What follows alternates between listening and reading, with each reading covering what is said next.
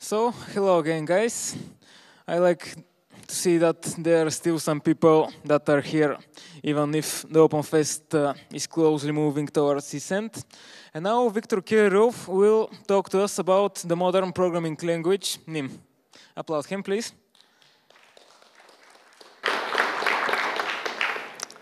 Hello, everybody. So today we'll be talking about NIM and why it makes sense to call it C++ 2.0 or something like that. So a little bit about me. Uh, I'm a native. I made the fastest C++ testing framework. I implemented a little bit of functionality in the NIM compiler. I write C++ for a living, sadly, and I like really, really text-heavy slides and reading, reading from them with lots of bullet points. Sorry. So today we'll be introducing NIM, features, metaprogramming, examples, compilation model. Then I'll talk a little bit about uh, the web, the garbage collection, and the runtime, comparison with C++, and uh, some closing thoughts. So let's get on with it. This is NIM, and its logo is a crown because it's meant to be the one language to rule them all. And a little bit about it. It's, it was started in 2000, uh, I mean 2005, yeah, by Andreas Rumpf. It's a strongly compiled, uh, strongly typed compiled multi-paradigm indentation-based language, and uh, it has some of the most powerful metaprogramming out there. It's meant to deliver the speed of C the elegance of Python and the power of Lisp and Perl. And it's backed uh, currently by only one sort of big organization, one of the top uh, 100 uh, cryptocurrencies. And yeah, it really aims to dominate the space in programming languages. And because it compiles to C, C++, JavaScript, Objective-C, it can basically run on any platform. And uh, lately, it has been gaming, gaining prominence in game development. So this is a really simple Hello World program. We compile it, we execute it, and we get a Hello World in our terminal. And this is what a little bit more NIM code looks like. As we, can, as we said, it's uh, indentation-based, like Python. At the top, we're importing a module. Then we define inside of a type section uh, a person object, which has a name and age. Then we make an array with a few people inside of it. We also define a function called do work, it's called a procedure. That's how we name uh, functions in NIM. And inside of it, we iterate over all the people and uh, we print them one by one. So nothing really unordinary looks like Python, mostly. But let's uh, go through a bunch of uh, selected features which uh, are really, really hard in other languages to achieve, but in NIM they come basically for free. For example, if you want to implement uh, distinct types, like we want to implement um, a units library or we want to implement a currency, in NIM we can just say that uh, dollars is, distinct, is a distinct float. It's basically a float underneath, but it's a distinct type. And then we can decide to borrow either some of the operators which work for floats or even all of them with just a single line. And then we have type safety when dealing with currencies. Nice feature which, uh, when dealing with C++, requires hundreds, if not even thousands of lines of code and templates just to implement a nice behaving integer-like class for something. Iterators. In this case, we're defining an odd iterator, I mean, an odd numbers iterator, which basically will print all of the odd numbers in a, in a sequence, and uh, we can use it in a for loop. Um, it's inline and it's uh, mostly performant. We can also have closures which are actually stateful continue, um, sorry. So closure iterators, they have state with them. They're a resumable function which can be passed around and uh, the state can be preserved inside of it. And in this case, we can pass the count function into the invoke function which accepts a closure iterator and it can use it inside of it. Anyway, I mean, the idea here is not to really dive too much into these features. We'll show a lot more examples in the metaprogramming part. So another thing which is quite hard to do in C++ in a nice way is discriminated unions. For example, std variant is thousands of lines of code. Uh, it doesn't really generate optimal code at runtime. People constantly blog about that uh, std visit is kind of slow sometimes. And in NIM, discriminated unions are really, they're part of the language. And in this case, if we want to model an abstract syntax tree in the NIM language, uh, what, we, what are we going to need? We're going to need an enum, an enumeration to distinguish different types of nodes, and also a node class, uh, I mean, in this case, a node object, which, depending on the type of node it is, it will have different fields. So here in the middle of the slide, we're saying that we have a node, class, a node type, which, depending on the kind, which is the node kind enumeration, if it's an integer, it has an integer value. If it's a string, it has a string value. If it's uh, adding or subtraction, then it has a left and right nodes. And if it's an if statement, for example, it, it will have a condition, a then part, and an else part, which are also nodes. And then when we create a node and we give it that it's uh, of type integer and an integer value, uh, accessing the string value is a runtime error because it's constructed as an integer value. And this is provided by the language instead of trying to implement it in thousands of lines of code in C++, for example. How is object orientation and OOP done in NIM? Well, as we can see, types don't have methods in themselves, but we're defining procedures and methods outside of the types. And always the first argument to the procedures and the methods is the actual object we'll be working on.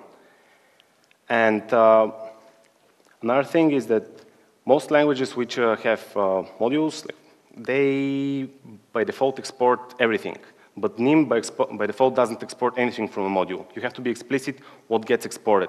So if you want encapsulation with NIM, basically you, are, you define your type along with the procedures which work on it in a module, and you export only the relevant parts outside of that module, so it can be imported and used. Also, NIM has uniform call syntax. So even though all of the procedures and methods, they take the object as a first parameter, actually we can call object dot function instead of only function with an object passed to it.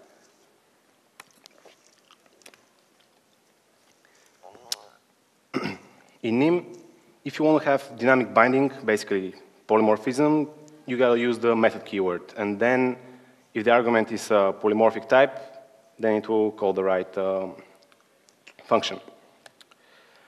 So one other really cool thing about NIM, which also has a lot, of, a lot in common with the build system of NIM and the way it's actually compiled, is the effect system. And so for example, here we have two functions. Write to console, which basically has an I.O. operation. It tries to stdout.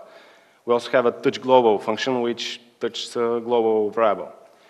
If we want to define a function called, in this case, impossible, and we annotate it with the no side effect um, effect, that means that the compiler will statically check at compile time that uh, none of the functions it calls transitively ever has any side effects. So in this case, neither of the two functions can be called. And even if these functions were defined in a module outside of the current one, it would still be checked at compile time, and the compiler can enforce if something really doesn't have any side effects.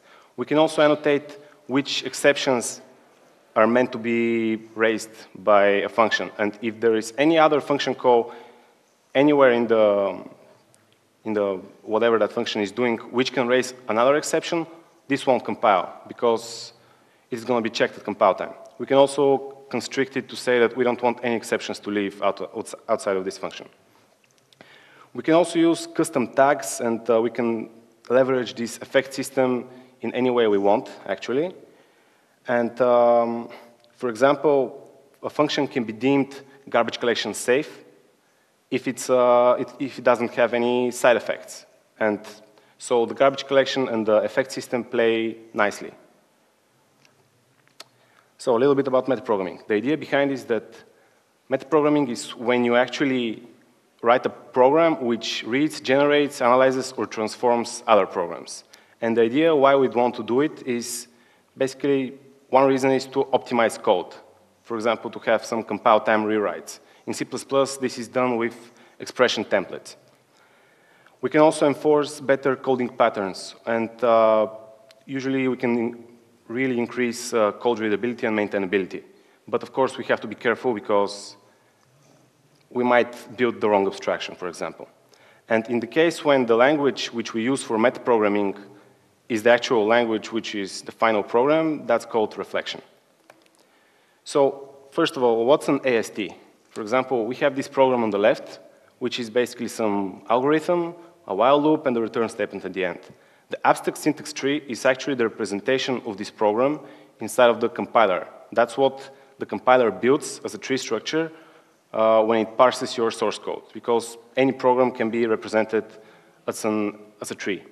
And in this case, we have a statement sequence because we have two, uh, two statements, a while and a return. The while statement has a comparison, and it also has a body. Inside of the body, we have a branch, which has a condition, an if body, and an else body. I guess you get the picture. So in NIM, we can say that the, there are four levels of complexity, like normal procedures and inline iterators, nothing special about them. We also have generic procedures and closure iterators, which are more high level. We also have templates and macros, which are the metaprogramming part in NIM. And templates, they basically expand and replace AST nodes, and macros can manipulate the AST, AST in almost any way. They also respect the type system, unlike some other things such as the C preprocessor. And the thing which actually does all the substitution and all the evaluation of compile time is the NIM virtual machine. So it, it, it is precisely responsible for the expansion and execution of templates and macros, and also about the compile time evaluation of code, expressions, constant folding, and stuff like that. So this is our first example of a template.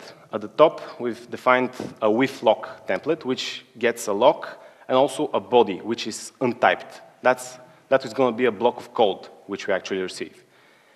And inside of this template, we acquire the lock, and then we put whatever the body is inside of a try block. And then, finally, we release the lock. In the middle snippet, when we actually use this template, we use it just like a normal construct in the language, and we call with lock with our lock, and we pass a bunch of code inside of it. And that, after the substitution, will end up looking like the code at the bottom. We have a lock, we init it, we acquire it, everything which was passed to the template is now in the try block, and we finally release the lock.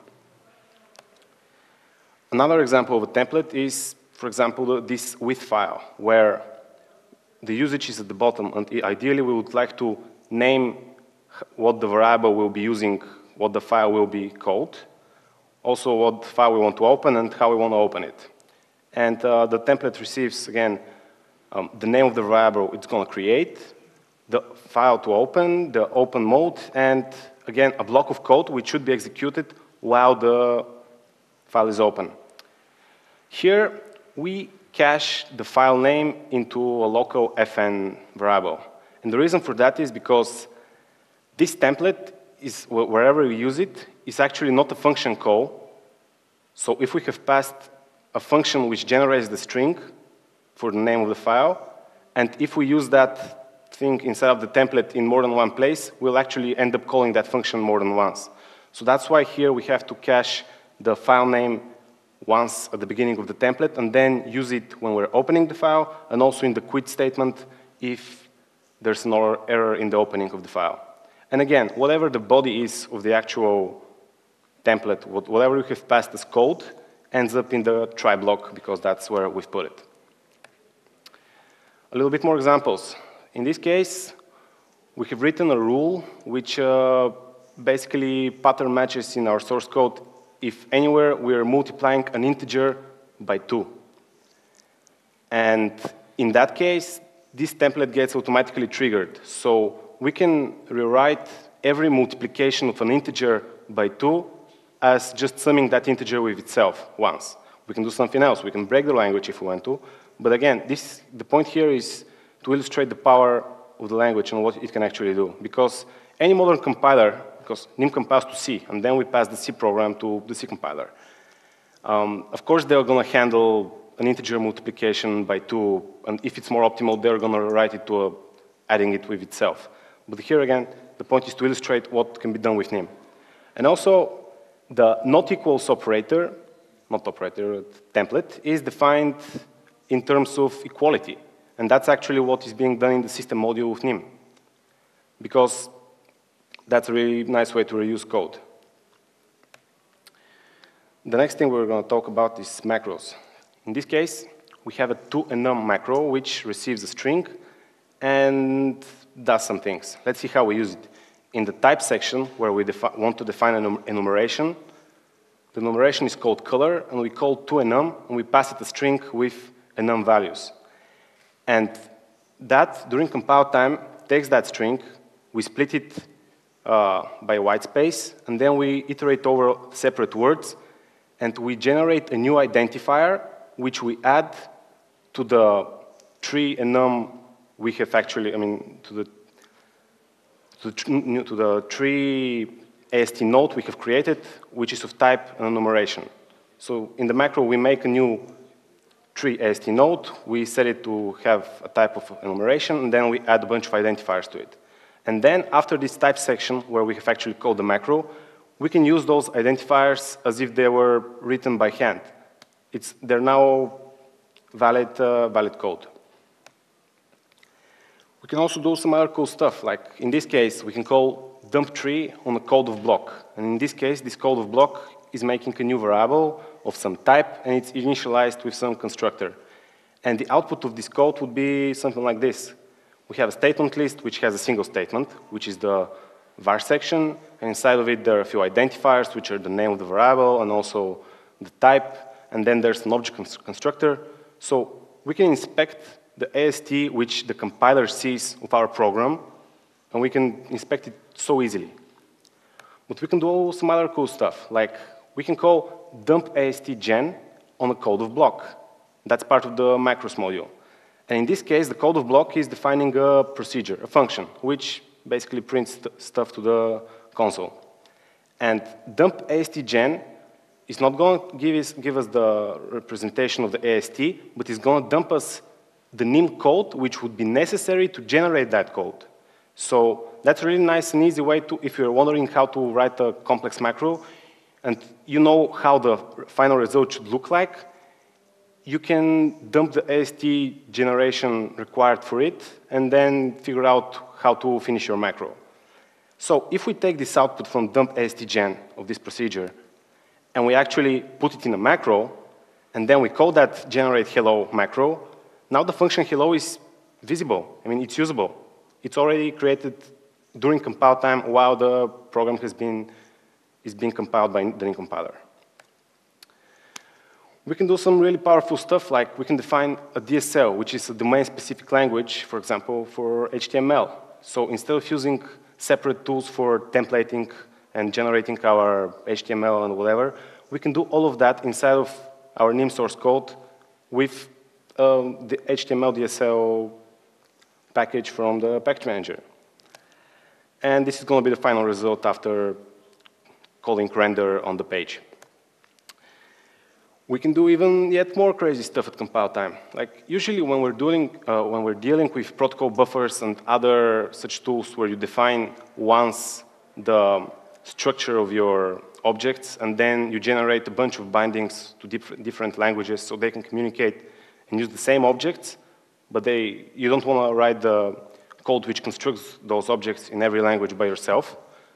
So that's why usually for such technologies like protocol buffers, you have a generator which based on the description generates the bindings for each language. But in the case of NIM, we can actually implement a parser of the specification of protocol buffers or protobuf, and we can, at compile time, parse the string and here, when we're calling parse proto, we're actually parsing the string we've passed it, and we even generate the necessary types and even functions to deal with those types at compile time. So now we can use those messages as native types inside of NIM. And we don't need any separate build steps. This is right here inside of our NIM source code. So what does metaprogramming give us? Well, much higher levels of abstraction. It can help us enforce, again, uh, better patterns, more readability, and maintainability. And it can help us with the creation of DSLs, such as uh, the HTML example we just saw. And for example, if you're dealing with a nasty GUI library like wxWidgets, which is great, but dealing with it is not that trivial, you have to write a bunch of code, you can simplify that based on your needs and write your own DSL language based on with, with just a few templates and maybe a few macros. With NIM, you you can go, you can do away with any external code generation and templating engines. And uh, remember the last time you had to write a serialization function and you had actually forgotten to serialize a field? That again can be automated with NIM. You can iterate at compile time through all of the fields inside of a type and just call serialize on each of them. That's not code which should be written by humans, it should be automated.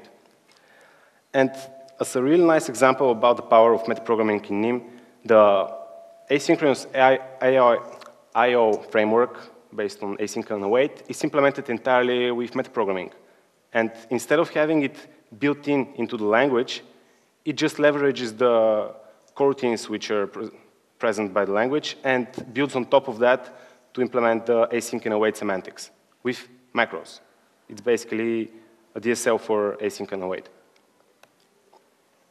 Some other cool features like Parentheses are optional when you're calling functions. You have destructors since recently. You have generics, so you can write um, your hash set and it can deal with any kind of types. You have concepts, you have pattern matching, implicit conversions, I mean, com uh, converters for, for implicit conversions. So we're actually explicit when we want something to be implicitly convertible. Also an extensible pragma system, defer statements, exceptions, one thing I really like is the discard keyword, because in NIM, if a function is returning a value, and if you just call that function but you don't store that value anywhere and you don't do anything with it, that's an error. You have to be explicit about discarding the result of that function. So that's just yet another example of good defaults in the language. And that, for example, is something which is now they're trying to add it in C++ with a no discard attribute, which actually works. But again, this is from the start in the language itself in the case of NIM. And it also has a package manager, unlike some other languages like C++. So let's see how NIM is compiled. In this case, we have three modules, main, foo, and bar. Main imports foo, foo imports bar. In bar, which is uh, on the right, we see that uh, from bar has an asterisk after that. That's how we decide which symbols should be explicitly exported from that module. So local from bar is not visible from anywhere else, but fr from bar is actually accessible from whoever imports bar. So if we want to compile this program, we actually call a compiler nim, and we only give it the root module, which is, which is in this case main.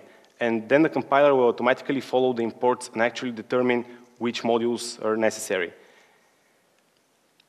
And um, that's how, when the NIM compiler is compiling the NIM program, it actually has the whole view of the program, because we're not compiling each module uh, separately. We actually compile only what's necessary based on what is being referenced from the main module. And the NIM compiler does whole program analysis, and that's why it can effectively and easily track, for example, transitive guarantees of the effect system. And when we decide to run this program, we also see that it doesn't have a main function. And uh, even the foo module has code in the top level scope, and even it will be executed. And the order works something like this. In the main module, at the top we import foo. That means that if there's any top level code, it should be inside of foo, it should be executed before the code in main. So we go to foo, we also see an import of bar. Bar has nothing in its top level scope except for initializing a local variable. Then we return to the initialization of foo. We see that at the top, at the bottom, we have an echo statement. We echo foo. Then we continue with our main module, where we call from foo, which actually prints bar which is defined in bar and is referenced by foo. And at the end, we also print main because it's at the end of the main module. This is basically a depth-first search traversal, and it's strictly guaranteed, like what the ordering. The ordering is strictly guaranteed, unlike in C++. Like if you have a bunch of globals in C++ in different translation units, you have no guarantees which will be initialized before the others. But in NIM, this is strictly defined. So, whenever we compile a project in NIM, we actually always compile the root, the root file. And for example, the NIM compiler is comprised of 140 files, and it also references a bunch of uh, the standard library, which is shipped along. And the entire compilation of the entire NIM compiler, the NIM part, takes around four to five seconds on my machine. After that comes the compilation of all of the um, 150 or 200 source files, the, the C source files, which are produced for each module, and that takes a bit more, but the total compilation of the entire NIM compiler on my machine currently is 20 seconds. And that's pretty awesome, and that's in a release build. And one thing which uh, the NIM community will be working on in the future is uh, in incremental compilation. So even though you always issue the command to compile the project from the root, eventually we'll get to the point where only the changed modules will have to be you know, reanalyzed and uh, reparsed and whatever. And only other modules which are affected by those will also have to be reanalyzed. Eventually, these four to five seconds of compilation in the NIM compiler will be dropped even further. And one more thing which I forgot to mention is that for each source file of, uh, for each NIM module, we end up having a C source file. But based on whatever is referenced, so if some module exports 10 symbols, but another module imports that module and uses only two of those symbols, only two of those symbols will end up in the final binary. They won't be, um, especially in the module which imports the other module, it won't have forward declarations for every other exported function. It will forward declare only whatever is really necessary.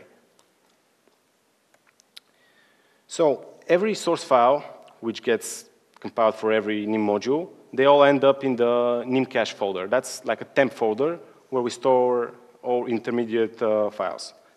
And each of those source files actually includes a common header called NIM base, which defines a bunch of common platform-specific macros and stuff. So the code generator of the NIM compiler, which generates the C code, has to generate it in a single way, but then this header wraps the platform-specific differences in macros.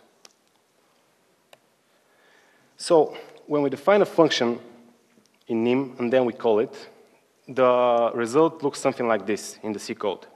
First, we have a bunch of structures which define the um, string sequence, whatever. That's not really important at this point. Actually, I should mention that each source file is structured uh, in the following way. At the top, there includes. Next, there are some type definitions. After that, we have forward declarations of whatever is necessary both within this translation unit and if it's coming from somewhere else. And after that come the definitions of the actual functions which are defined in this source file. And only at the end we have the initialization code which is being done at program startup. So in this case, for the full function, we see that uh, actually there are really, really horrible symbols generated. That's because of mangling, because uh, based on the return type and the argument type and whatever. Um, this is a common way to mangle names in programming languages, especially C++. So C++'s mangling is not like a hash like in this case. It, you can actually reason about the mangling in C++. You can infer if it has four arguments or two and also what types of arguments they are. But in NIM, mangling is just a hash. But anyway, so at some point here in the source file, we have the literal hello, which is a string literal. At some point later, we have a forward declaration for the full function, which is just a forward declaration in C. Then we have the definition of full. And at the end, somewhere in some initialization code in the whatever should be executed in the main scope is, we have a call to full. And it's just C code. Here we have a definition of a type, which has an integer and a boolean inside of it. We also have a function which returns an object which is constructed with specific values. And then we call that constructor and we echo the answer. Again, only a part of the final source file will look something like this. Our structure, our type, is just a regular C struct with only the fields we actually told it because it's a really straightforward type the function which constructs our object is, again, nothing too special. We have a result of the type, we set the, the, specific fields, and then we return it. And the usage is, again, nothing out of the ordinary. This is C code. Resumable functions, um, in this case, closures. They are also implemented in terms of only structures and pointers in C. And for closure, we need two things. One of them is uh, the definition of the state. In this case, uh, we have an int colon state, which tells us how far along we've reached uh, in the resumable function, at which yield have we stopped on the last execution. And also here we see x1, which is basically the local variable inside of the closure. We also have a closure type structure, which is basically two pointers bundled together. One of the pointers is the po function pointer to the actual function which will be doing the work, and the other pointer is the pointer to the environment, to the state. And having this closure type, if you have an instance of a closure type, you can just um, call the function pointer from it, passing it the environment. And then the function which is actually doing the actual work will take the state from the state pointer and uh, figure out how far along it has reached in the state machine of the, of the resumable function and continue.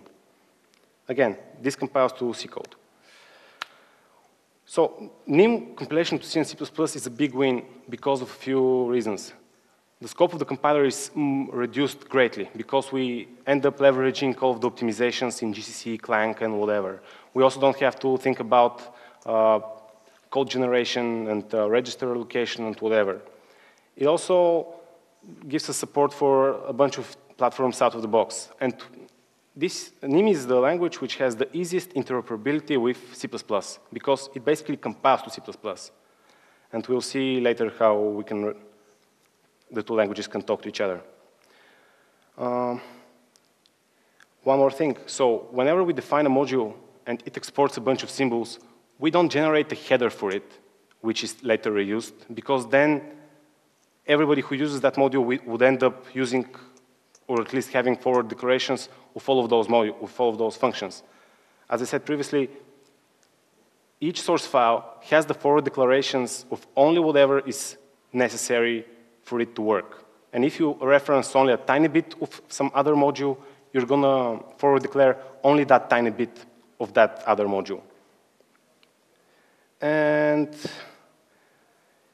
even the high-level macros and templates, all of them get um, crushed and, uh, how do I say it, uh, the final C code is not optimized for readability by humans, but it's mostly optimal code, and most of the um, uh, zero-cost abstractions like macros and templates get really uh, obliterated by the NIM compiler, and at the end we have the bare minimum of C code we actually need, which later the C compiler ends up optimizing even further.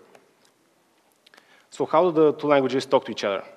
There's this thing called the foreign function interface. And in NIM, we can easily say that if we want to use the printf function from stdio header, we can define it as a procedure in NIM, and we can say with, uh, within these curly braces that it comes from that specific header, and we should import that specific symbol from C. And then we can use this printf function within NIM, and it will, whenever we, if we use it, the compiler will make sure that it generates the include to the appropriate header which introduces it, and it will just remap the call. We also can put any C++ inside of NIM code and actually just tell the compiler, dump this as it is during the compilation phase. We can also say what libraries we want to link against or what other source files are necessary in order to link the entire thing. Also, we can make NIM code talk to, I mean, we can also call NIM code from C++. Suppose we have this fib.nim module, which defines a fib function, and it's annotated with exportc. Now we can call the NIM compiler on that module and tell it we don't want a main function, we don't want to link, we just want to generate a header. And after that, we'll have a C header, and that function will be callable from C. We can even interface with uh, more complex types like uh, templates, in this case, std map. We can also define our, you know, procedure to access elements and uh, assign them stuff. And at the end, when we actually use these functions we have defined, uh, the final generated C++ is literally what we would have written by hand in C++ anyway. So there are no intermediate layers because since one of the languages compiles to the other, bindings can be as optimal as they could be. And there are different tools which can automate the generation of bindings. One of them is C2NIM, and another is nimterop. And if you're curious, again, all of these slides will be available at the end, and you're going to check out all the links if you're interested. NIM has a garbage collector. So well, there's a little bit more to the story. Uh, there are different garbage collectors which you can use. And um, in NIM, you can have a lot more control, unlike in other languages. Like, you can decide when the GC should run, and you can also tell it for how long it should run. Also, each thread has its own garbage collector, and they don't have to wait for each other in order to do their work. And the most important part is that the GC can be avoided, and it can even be turned off, even right now. So if we're de uh, dealing with simple objects and um, value-based types, destructors, stack and manual heap allocation, we can write code as if it's C++ in NIM. But only if we use ref object, which is here at the end, uh, that means that those objects will be GC managed. And even in that case, we won't always have to deal with the GC. So if we create an object which is GC managed within a scope, but we never take a reference of that object outside of the scope, so no reference outlives that scope, we can clean it up right there, and we don't have to clean it up later with the garbage collector. So this is a graphic about the memory and time usage of uh, NIM's garbage collector. The blue lines are the memory consumption. I'm not really sure how this uh, measurement was done, but uh, I would assume it's like a similar type of program with the different languages. But the more important part is the green bar, that uh, in this case, NIM's GC has run for less than a millisecond, and we can even tune that. We can maybe make it run for even less time again, we have a lot more control than in any of, other, of these other languages. And also, NIM's binaries are quite small. This graphic is a bit outdated. I think NIM's binaries are now around 70, not 40K, but still it's much lower than all of the other languages. So yes, it has some runtime, yes, it has a garbage collector, but you can actually avoid it, and even if you don't avoid it, it's still perhaps the most optimal thing out there. So, the NIM backend. As we already talked, NIM can generate C and C++ code. In the case of C++, it can also reuse the exceptions in C++, and it can even interact with them. Um, but it can also compile to JavaScript, and we'll see in a bit later why that's cool. Actually, I'm, I'm just going to tell you right now. If you're writing a web application and you have to write the backend and the uh, client side, which runs in the browser, if you can do that in the same language, that's really, really powerful. I mean, the less languages you have to deal with, the less, uh, you know, the more you streamline things, the better. And even if you're compiling to C and C++, you can still target the browser with things such as uh, WebAssembly or ASM.js. Even right now, you can compile normal C programs, including NIM programs, through C, which generate really optimal code and have that run in the browser. So there are some modules which are only for the JavaScript backend, otherwise they're not allowed, for example, the DOM. And yeah, this is NIM code we can write. Uh, we can import the DOM and do anything with the document object model of the web application. So, a little bit about C++. I really love this meme because it's in every, every day with me. I guess this is the everyday life of any C++ programmer. Sometimes we have to wait for tens of minutes or even hours just to get a compilation. And a little bit about C++. C++ 20, huge release, really cool stuff, but it's even more complex than ever before. And people say that C++ is expert friendly, but I say that it's expert tolerable. I mean, they barely, in my opinion, tolerate it. Uh, in C++, it takes more than 5,000 lines of code to implement optional, which is basically a value and a boolean. That's something which shouldn't take 5,000 lines of code and a bunch of you know, mistakes and testing. And if we think that in each thousand lines of code, no matter the language, we always have the same amount of bugs, then we would want to reduce the amount of code we have. If a project is 100,000 lines of code, it, it's going to have a much more, much more, many more bugs compared to 10,000 lines of code. Again, that's a not proven rule, but anyway. Uh, what else? In C++20, ranges are coming, but if you include the ranges header and write a 20 lines of code snippet, you end up compiling for three seconds, just because of um, all of those zero cost abstractions. And if you actually decide to build in debug, all of those zero cost abstractions won't get, end up inline at all. Uh, and actually your debug builds will be perhaps five, ten times even much more slower than the release build. And for some applications, the debug builds stop being an option at all. So it's my opinion that uh, C++ is a huge mess. I mean, it's a really nice research project. We see a bunch of things, how they implement them, but we can learn from that. And instead of uh, sinking more and more time and effort into such an suboptimal language, we can just use something better, which is here. And all it needs is more people using it. Uh, some other problems, yeah, variant, again, discriminated unions in C++. It, it took them three years to design something and it's still not really cool and it's still a few thousand lines of code and whatever. In NIM, it comes by default. And yeah, a few interesting quotes, like 50 years of programming language research and we end up with C++. I mean, whenever somebody says that C++ is fine, in my opinion, he hasn't uh, encountered a really good language. And one quote I really like by Scott Meyers is that he, he was once at a D conference and he said the title of the talk was the last thing D needs is someone like me because he used to be in the C++ ecosystem and he was writing all of these effective C++ books just to explain how to not shoot yourself that much into the foot. Because C++ is really hard to use and the goal of languages should be not to be that hard. And NIM can be thought of in comparison to C++ as CoffeeScript is to JavaScript. It's a better language which compiles to the stable platform. And uh, yeah, demo, okay, I'll show you how much time it takes to compile the NIM compiler. This is the compilation in the NIM part. That's over, now we're compiling the C code, all the modules.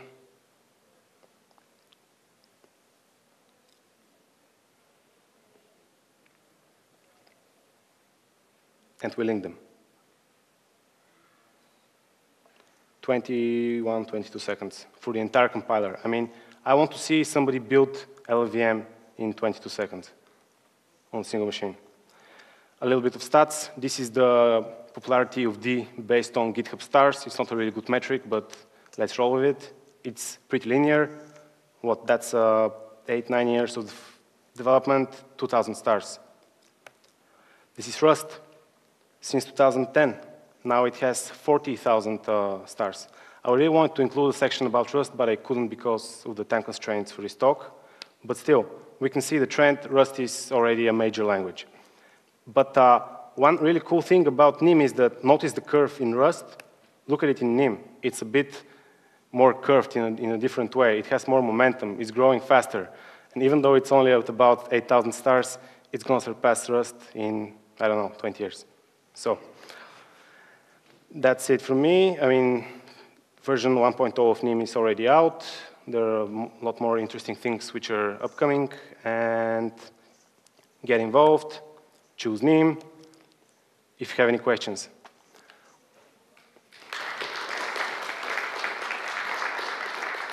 Uh, oh, we do not have much time, so let's start quick.